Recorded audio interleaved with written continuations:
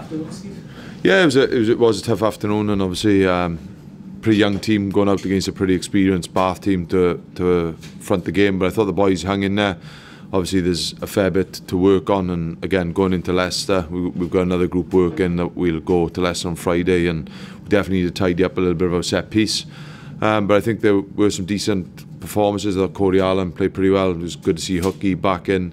I thought McCusker really sort of barred up in around what is a pretty inexperienced team in large aspects.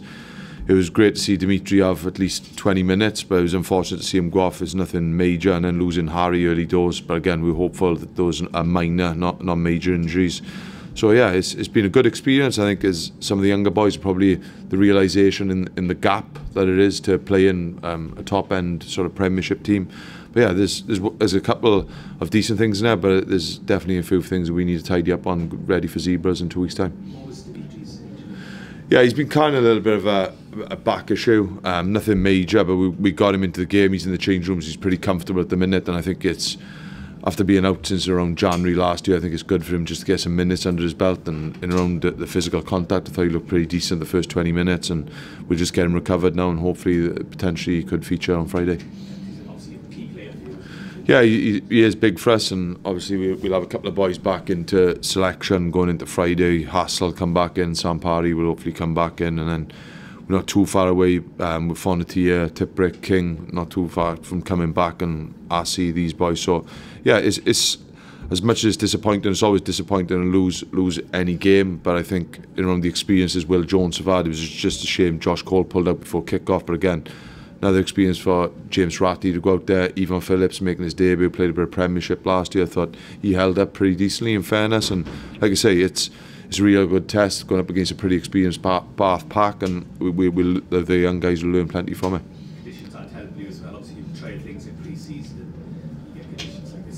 Yeah, the conditions are not great, but I think even in the conditions, I think if we tidied up our set piece, we'd still have had opportunities in decent areas of the field. I think we're a little bit sloppy, um, and you probably look at basic error count individually, it's, it's way too high, and I know that sounds pretty generic, but if we can't take high balls or we move the ball across the, the whitewash too easy, then it's something that you're never going to have enough opportunities to score, and probably was it I, we were down at half time, but it, it, could have been a little bit heavier for Bath. In fairness to them, so it's something that but we battled back. We scored two tries at the back end. Some, like I say, some nice individual moments, but ultimately, I think there's there's still a hell of a lot of work to do ready for Zebras in two weeks' time.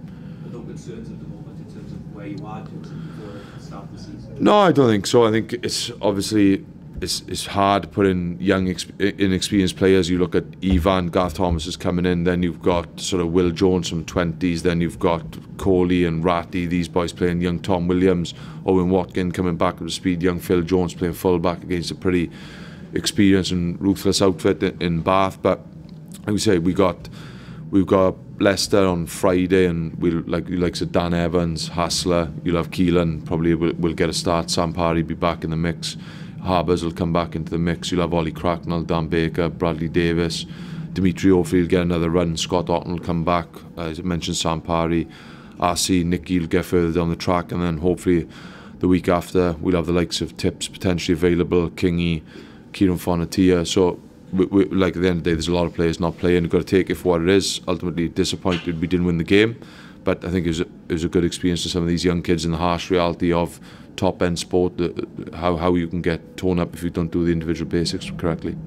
How do you think uh, and James would combine? Yeah, I, I really liked it. I thought Corey defensively was, was really good. Um, I thought he chased kicks really well, and I think there's a good understanding. I think he's got a good feel and understanding for how we want to play. So I'm really pleased with Corey. He's starting to cramp up and hooky.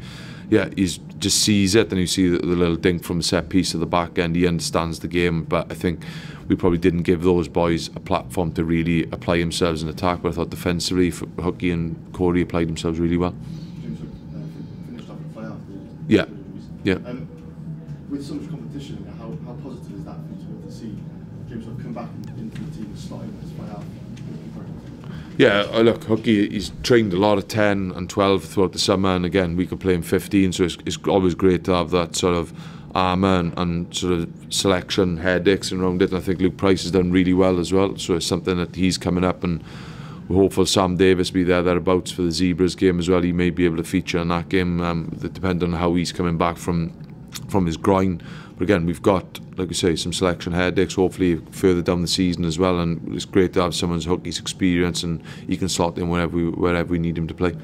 Your contract uh, renewed by the region. How pleased are you? Yeah, it's, it's a little. I think it's a lot about nothing. If I'm honest, it's something I, I'd signed a couple of seasons ago for, for an extended period of time. It's and I think the way it's probably come out, it looks as if it's an extension from now, but it's ultimately I signed into a five-year deal two years ago. Positive for you to be able to have that of comfort, comfortable to know that you've got trust above? Yeah, I think so. it's it's great, and obviously being at a great club, and obviously through throughout the time we've come here, there's obviously a lot of things that, um, have, well, sort of recruitment wise and things, bringing a lot of young guys through, and obviously there was a low point probably finishing eighth the year before. And I think bringing Brad Davies has helped. There's a lot of change um, throughout the cycle I've been here.